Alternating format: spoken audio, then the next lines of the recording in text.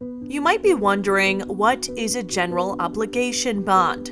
General obligation bonds or GO bonds are issued by the state to fund public works projects. These bonds are crucial for higher education institutions statewide, providing necessary funds to repair and renovate aging facilities. We're asking for a new humanities building because our building needs help. It was built in 1971. It's literally falling apart and a review showed that it should not be renovated, it needs to be replaced. The flood damage that we're facing coming through the ceilings and breaking through the ceiling tiles is significant.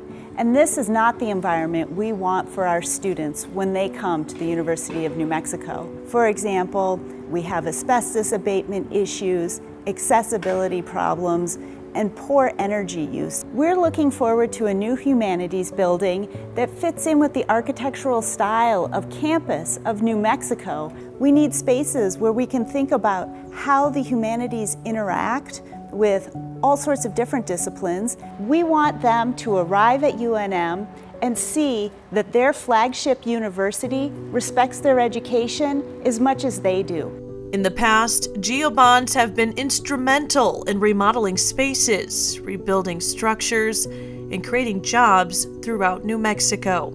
This November, you have the chance to support higher education students by providing them with the resources they need to succeed. Make your vote count for higher education by voting on GO Bond 3.